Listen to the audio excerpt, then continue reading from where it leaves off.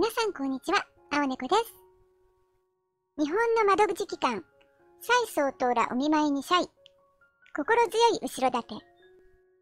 日本の対台湾窓口機関、日本台湾交流協会は3日深夜、大規模な土石流が発生した静岡県熱海市にお見舞いメッセージを出した蔡英文総統や外交部に Facebook で謝意を示した。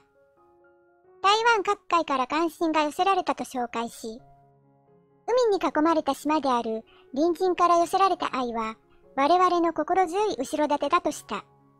投稿には、蔡総統と外交部がツイッターに記した日本語のお見舞いメッセージの画像が添えられた。蔡英文総統のお見舞いメッセージに対し、ジャーナリストの有本香里さんのツイッターからの投稿です。台湾の蔡英文総統からいち早く災害見舞いのツイート。日本語で日本の必要な援助をいつでも提供できるように用意していると。ありがたい限りです。日本と台湾は大雨や地震などの自然災害が多いことでも共通しています。常に助け合える関係でありたいものです。被災地では自衛隊の方々などによる懸命の捜索、救助活動が続いています。救助犬も危険な場所で頑張ってくれていますね。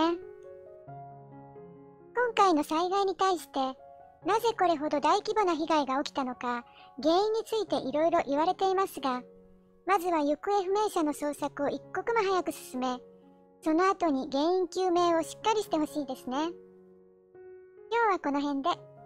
よろしかったらチャンネル登録お願いします。青猫でした。